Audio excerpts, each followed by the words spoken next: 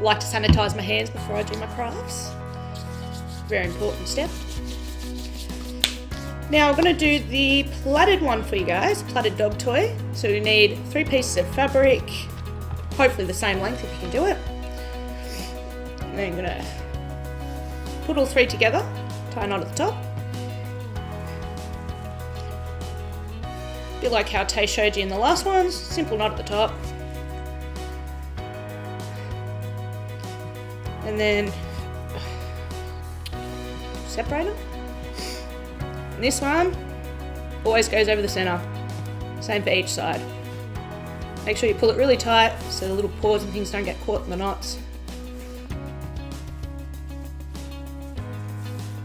You keep doing that all the way down till hopefully you'll end up with that.